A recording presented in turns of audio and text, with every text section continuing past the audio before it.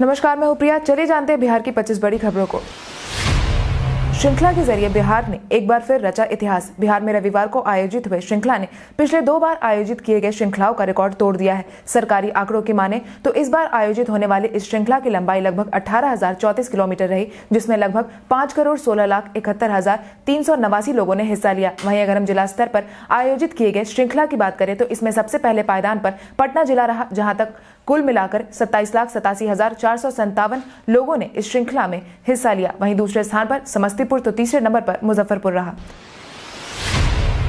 Helmet अभियान की अब शुरुआत होगी ग्रामीण क्षेत्रों से। उक्त आदेश पटना के आयुक्त संजय कुमार ने बेली रोड स्थित बिहार म्यूज़ियम में आयोजित समारोह को संबोधित करने के दौरान दी है। आपकी जानकारी के लिए आपको बता दें, यह समारोह सड़क सुरक्षा सप्ताह के समापन समारोह के दौरान आयोजित किया गया था। पटना के आयुक्त संजय कुमार ने आगे कहा की बीते कुछ समय से सड़कों पर हो रहे अप्रिय वाक्यों में कमी आई है, जिसको देखते हुए हमने यह अभियान अब ग्रामीण क्षेत्रों में भी शुरू करने का निर्णय लिया है, ताकि गाँव घर में रह रहे लोग भी अपनी सुरक्षा का ध्यान रख सके। इतना ही नहीं, उन्होंने आधे दिन की ड्राइविंग ट्रेनिंग में तीन सौ का मानदेय का प्रावधान भी किया है। असम बारिश का असर पड़ रहा है अब किसानों की खेती पर। ठंड के मौसम में बारिश का सीधा असर अब किसानों की खेती पर देखने को मिल रहा है। इस बेमौसम बरसात से सीधे तौर पर उत्पादकता प्रभावित हो रही है। इतना ही नहीं, भागलपुर का तो ऐसा हाल है कि वहाँ के किसान एक साथ बाढ़ और सुखाड़ दोनों की समस्याएँ झेल रहे हैं। बारिश के कारण सरकार द्वारा निर्धारित लक्ष्य के अनुरूप भी फ़सलों का उत्पादन नहीं हो रहा है। बारिश की समस्या के अलावा किसानों की जागरूकता का भी अभाव खेती को सही ढंग से नहीं हो पाने का मुख्य कारण बना हुआ है। आने वाले दो दिनों तक बारिश होने की बन रहे हैं आसार। हवा का रुख अचानक बदलने से रात ढलते ढलते एक बार फिर से मौसम में ठंड का असर बढ़ने लगा है। सोमवार रात से ही मौसम में लगभग चार डिग्री तक की गिरावट देखने को मिल रही है। इतना ही नहीं, मौसम विभाग की माने तो आने वाले दो तीन दिनों तक मौसम का मिजाज कुछ ऐसा ही देखने वाला है। साथ ही कुछ जिलों में बारिश होने की भी संभावनाएँ जताई गई है। मौसम विभाग की माने तो अचानक से मौसम में इस बदले रुख का कारण पश्चिम बंगाल के सक्रिय चक्रवात का उत्तर पूर्वी और दक्षिण पूर्व बिहार में शिफ्ट होना है। खबरों की माने तो सुपौल, सहरसा, किशनगंज, मधेपुरा अररिया, पूर्णिया, कटिहार, भागलपुर, बांका, मुंगेर, खगड़िया और जमुई में बारिश होने के आसार दिखाई दे रहे हैं।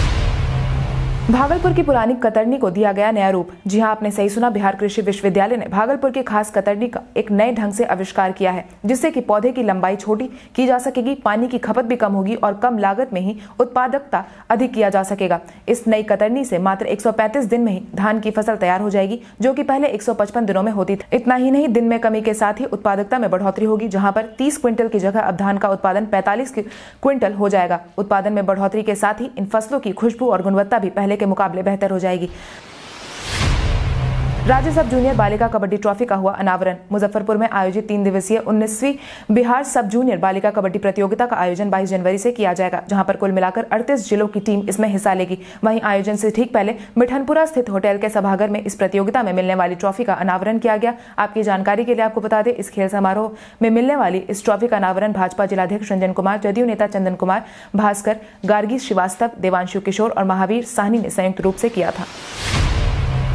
मुंगेर के जयप्रकाश उद्यान में आपको देखने को मिलेगा बहुत कुछ खास। अक्सर हम जब भी किसी जगह का भ्रमण करने जाते हैं तो हम वहाँ पर घूमने के लिए पार्क की तलाश ज़रूर करते हैं। इसी क्रम में आज हम आपको मुंगेर ज़िले के जयप्रकाश उद्यान के बारे में बताएँगे। मुंगेर ज़िले का यह पार्क ऐतिहासिक ब्रिटिश कालीन के समय में यहाँ पर स्थापित किया गया था।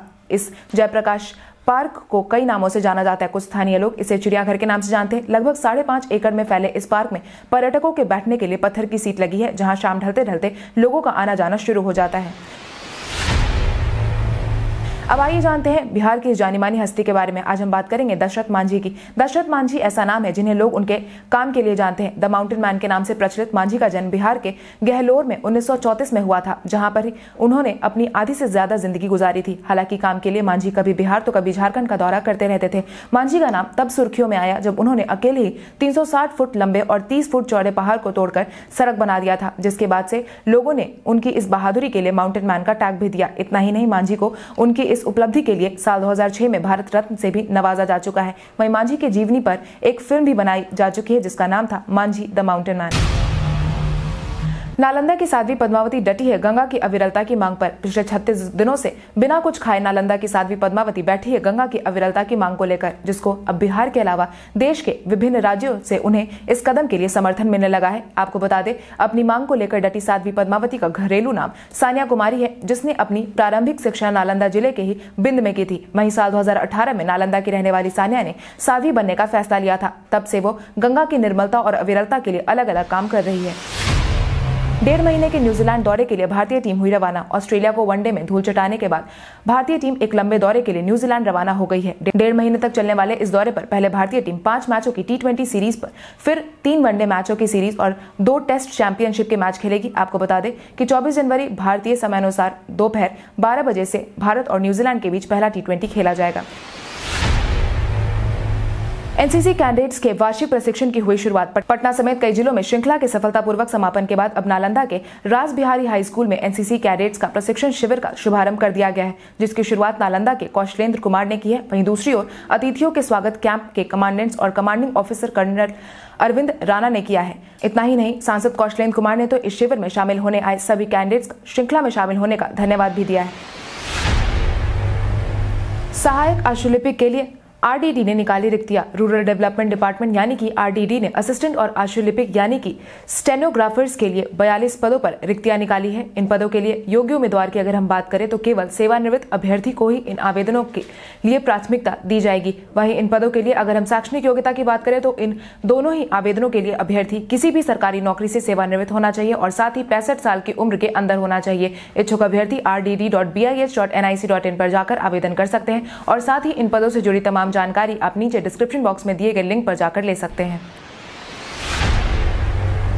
सोन पर बन रहे सिक्स लेन पुल पर जल्द ही दौड़ने लगेंगी गाड़ियाँ। पटना, भोजपुर और सारण वासियों के लिए खुशखबरी। लगभग दो साल से पुल पर लग रहे जाम की समस्या से जूझ रहे आम नागरिकों को अब इससे राहत मिलने की उम्मीद जताई जा रही है, जिसके तहत सोन नदी पर बन रहे छह लेन पुल के निर्माण का काम पंद्रह मार्च तक पूरा होने की उम्मीद जताई जा रही है। अगर पंद्रह मार्च तक पुल निर्माण का काम खत्म हो गया तो संभावित तौर पर अप्रैल महीने से इस पुल पर गाड़ियों की आवाजाही शुरू हो जाएगी। आपकी जानकारी के लिए आपको बता दें, इस पुल के आरएचएस में सैंतीस स्पैन है, जिसमें से तीस का काम पूरा हो चुका है। बचे सात का काम भी जल्द ही पूरा हो जाएगा। वहीं खबरों की माने तो इस पुल के निर्माण में लग रहे समय का कारण इस पुल के बार बार डिज़ाइन में हो रहे बदलाव को बताया गया है। 28 जनवरी को होने वाले एसटीईटी परीक्षा के लिए जारी किए गए दिशा निर्देश। काफ़ी अटकलों और बदलावों के बाद आखिरकार एस टी 2019 की यह परीक्षा 28 जनवरी को होने जा रही है, जिसके लिए बिहार विद्यालय परीक्षा समिति ने ज़रूरी दिशा निर्देश जारी कर दिए हैं, जिसके तहत 28 तारीख को होने वाली यह परीक्षा दो पालियों में ली जाएगी। इसकी शुरुआत सुबह दस बजे से साढ़े बारह बजे तक होगी, वहीं दूसरी पाली इस परीक्षा को दोपहर दो बजे से साढ़े चार बजे तक लिया जाएगा। इतना ही नहीं, बोर्ड ने सभी परीक्षार्थियों को सख्त आदेश देते हुए यह साफ़ कह दिया है कि सभी छात्र परीक्षा केंद्र पर परीक्षा से पैंतालीस मिनट पहले पहुँचेंगे और साथ ही परीक्षा में सम्मिलित होने से पहले एसटीईटी के आधिकारिक वेबसाइट पर दिए गए ज़रूरी दिशा निर्देश को भी ज़रूर पढ़ेंगे। परीक्षा पर चर्चा कार्यक्रम में बिहार के 70 में से चौसठ छात्र ही हुए शामिल। प्रधानमंत्री नरेंद्र मोदी ने दिल्ली में आयोजित परीक्षा पर चर्चा कार्यक्रम का संबोधन किया, जहाँ उन्होंने सभी छात्रों से कई सारी बातचीत की। इतना ही नहीं, उन्होंने छात्रों को, खासकर उन छात्रों को जिन्हें इस बार बोर्ड की परीक्षा में बैठना है, साथ ही जिन छात्रों को प्रवेश परीक्षा देना है, उन्हें तनाव मुक्त होकर परीक्षा में सम्मिलित होने का नसीहत दी। साथ ही साथ प्रधानमंत्री नरेंद्र मोदी ने इस दौरान छात्रों द्वारा पूछे जा रहे सवालों का भी जवाब दिया। आपको बता दें, परीक्षा पर चर्चा कार्यक्रम में सम्मिलित होने के लिए बिहार के लगभग सत्तर छात्रों का चयन किया गया था, मगर केवल चौसठ छात्र ही कार्यक्रम का हिस्सा बन पाए। सीबीएसई का दसवीं और बारहवीं का एडमिट कार्ड हुआ जारी। केंद्रीय माध्यमिक बोर्ड ने दसवीं और बारहवीं परीक्षा का एडमिट कार्ड जारी कर दिया गया है, जिसे अब आने वाले दो तीन दिनों में डाउनलोड कर स्कूल प्रशासन द्वारा छात्रों को मुहैया करवा दिया जाएगा। ज्ञात हो, स्कूल के प्राचार्य के हस्ताक्षर के बिना किसी भी छात्र का एडमिट कार्ड मान्य नहीं होगा, जिसकी जानकारी सीबीएसई ने पहले ही सभी स्कूल को दे दी है। आपकी जानकारी के लिए आपको बता दें, सीबीएसई की दसवीं और बारहवीं की परीक्षा फरवरी के दूसरे सप्ताह में शुरू होने वाली है। सामने आई दरोगा बहाली परीक्षा के दो सौ छिहत्तर आवेदन रद्द होने की वजह। बिहार पुलिस में दरोगा और सर्जन पदों पर होने वाली बहाली के लिए आयोजित की गई लिखित परीक्षा में दो सौ छिहत्तर आवेदनों को रद्द कर दिया गया है, जिसकी जानकारी बिहार पुलिस अवर सेवा आयोग ने खुद दी है। आयोग की माने तो बिहार पुलिस के विभिन्न पदों के लिए एक से ज़्यादा आवेदन किए गए थे और इसी वजह से वैसे उम्मीदवारों के आवेदन को रद्द कर दिया गया है। आयोग के मुताबिक एक से ज़्यादा आवेदन भरना विज्ञापन की शर्तों का उल्लंघन है। ज्ञात हो, आयोग ने सभी रद्द किए हुए आवेदनों की जानकारी बिहार पुलिस अवर सेवा आयोग के आधिकारिक वेबसाइट पर जारी कर दी है।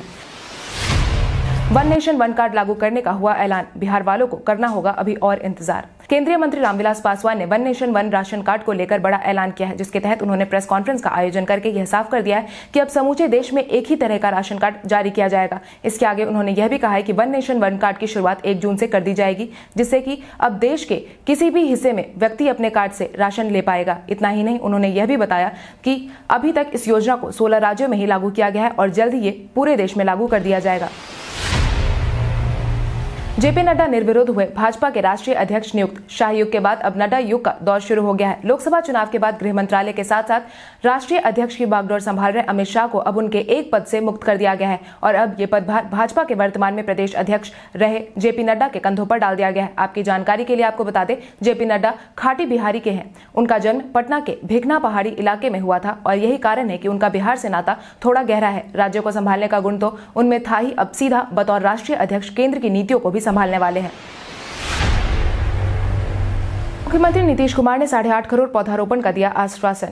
जल जीवन हरियाली यात्रा के तहत आयोजित की गई श्रृंखला के सफलतापूर्वक समापन के बाद मुख्यमंत्री नीतीश कुमार ने पर्यावरण संरक्षण को लेकर बड़ा बयान दिया है, जिसके तहत उन्होंने साफ़ कहा है कि पर्यावरण के मुद्दे पर सरकार कभी भी कोई भी समझौता नहीं करेगी। हमारी योजना से यकीनन राज्य के लोग पर्यावरण संरक्षण को लेकर जागरूक हुए हैं और इसी क्रम में आने वाले समय में पर्यावरण को ध्यान में रखते हुए आठ करोड़ पौधारोपण का लक्ष्य भी पूरा किया जाएगा।